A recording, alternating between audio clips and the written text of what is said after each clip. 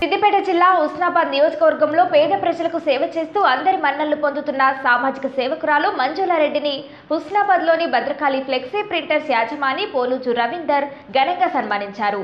రానున్న రోజుల్లో పేద ప్రజలకు మరిన్ని సేవలు చేయాలని ఆకాంక్షించారు. రానున్న రోజుల్లో పేద ప్రజలకు మరిన్ని సేవలు చేయాలని ఆకాంక్షించారు. నియోజకవర్గంలో ఏ ఆపద వచ్చినా పేద ప్రజలకు ఆపన్న హస్తం కోసం గుర్తుకొచ్చేది సామాజిక సేవకురాలు మంజుల రెడ్డేనని. నిరంతరం పేదలకు సహాయం చేస్తూ అండగా ఉంటున్న సామాజిక సేవకురాలు మంజులారెడ్డి భవిష్యత్తులో మరింత మంది పేదలకు సహాయం చేయాలని కోరారు.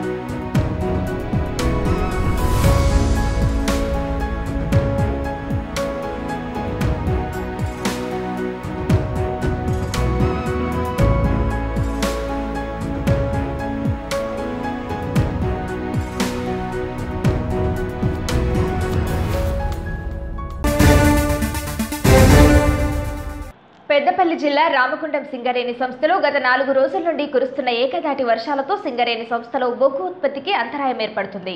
పని స్థలాల్లో వరద నీరు నిల్వ ఉండడంతో భారీ యంత్రాలు ఎక్కడికక్కడ నిలిచిపోయాయి. పెద్దపల్లి జిల్లా రామగుండం సింగరేణి సంస్థలో నాలుగు ఓపెన్ కాస్ట్ బొగ్గు గన్లున్నాయి. వీటిలో నిత్యం ఎనభై వేల టన్నుల బొగ్గును వెలికితీస్తారు. వర్షాకాలం వచ్చిందంటే చాలు. భూ ఉపరితలానికి లోతుగా ఉన్న గనులలో వరద నీరు భారీగా నిలిచిపోయి ఎక్కడి పనులు అక్కడే నిలిచిపోతాయి.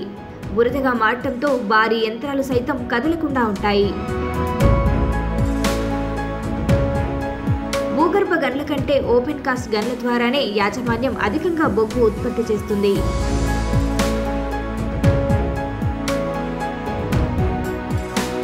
ప్రస్తుతం వర్షాల కారణంగా బొగ్గు ఉత్పత్తి నిలిచిపోయి సంస్థ నిర్దేశించిన టార్గెట్ చేరుకునే పరిస్థితి లేదు. ఇప్పటికే కరోనాతో గత ఏడాదిన్నర నుంచి బొగ్గు ఉత్పత్తి అంతంత మాత్రంగానే ఉంది. ప్రస్తుతం వానాకాలం మరింత బొగ్గు ఉత్పత్తి తగ్గే అవకాశాలున్నాయి. వర్షాలు పూర్తిగా తగ్గిన తర్వాతే తిరిగి ఓపెన్ కాస్ట్ గనుల్లో బొగ్గు ఉత్పత్తి సజావుగా జరిగే అవకాశాలు ఉన్నాయని సింగరేణి అధికారులు వెల్లడిస్తున్నారు.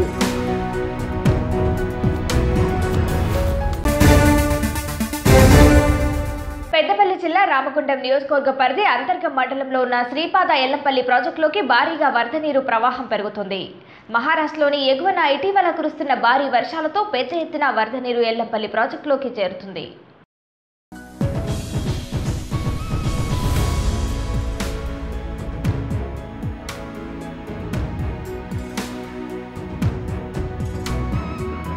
నిన్న ప్రాజెక్టుకు సంబంధించిన పదహారు గేట్లెత్తగా గురువారం పది గేట్లెత్తి వరద నీరు దిగువకు పంపిస్తున్నారు.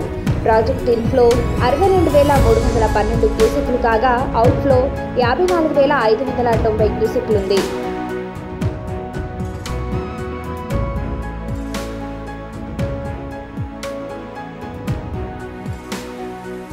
ప్రాజెక్టు పూర్తి స్థాయి నీటి నిల్వ సామర్థ్యం ఇరవై పాయింట్ ఒకటి ఏడు ఐదు టీఎంసీలు ఉండగా ప్రస్తుతం నీటి నిల్వ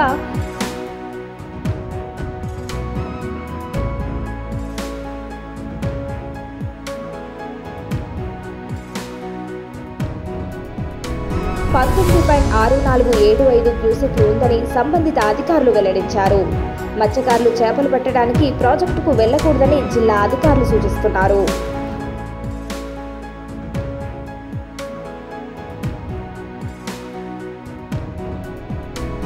మరోవైపు సమీపంలోని గ్రామాల ప్రజలు అప్రమత్తంగా ఉండాలని అధికారులు హెచ్చరికలు జారీ చేశారు. అలాగే పర్యాటకులు సైతం ఎవరు ఎల్లంపల్లి ప్రాజెక్టు సమీపంలోకి వెళ్ళకూడదని అధికారులు చెబుతున్నారు.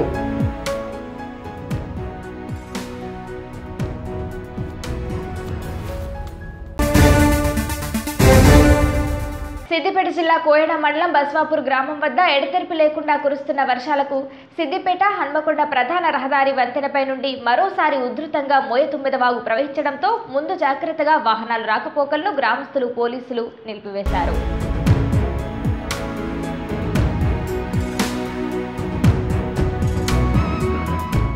ఎడతెరిపి లేకుండా కురుస్తున్న భారీ వర్షాలకు ఎగువ నుండి వస్తున్న వరద నీటితో మోయతుమ్మెదవాగు ప్రవాహం మరోసారి పెరిగింది.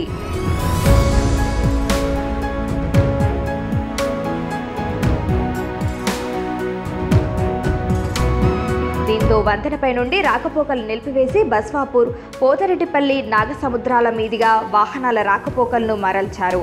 వర్షం ఇంకా కురుస్తుండటంతో వాగు ప్రవాహం మరింత పెరిగే అవకాశం ఉంది.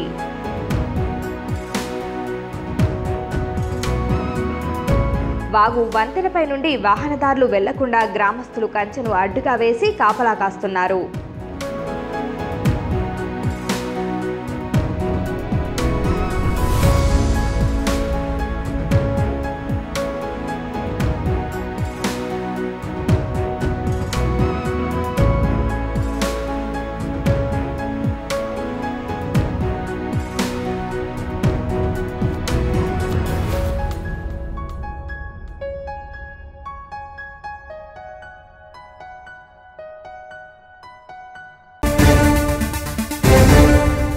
సిద్దిపేట జిల్లా ఉస్నాబాద్ అక్కన్నపేట కోహిన మండలాల్లో నేడు ఏఐసిసి చెలో రాజ్ భవన్ పిలుపు నేపథ్యంలో కాంగ్రెస్ నాయకులను ముందస్తుగా అర్ధరాత్రి నుండే పోలీసులు అదుపులోకి తీసుకున్నారు.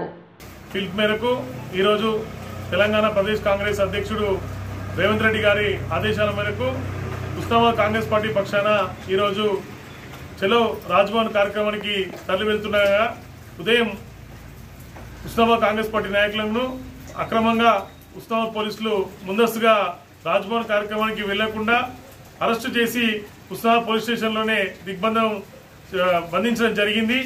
ఏదైతే కేంద్ర ప్రభుత్వం కాంగ్రెస్ నాయకుల యొక్క ఫోన్ ట్యాపింగ్ నిర్వహిస్తుంది ఈ వైఖరిని తప్పుదారి అని చెప్పి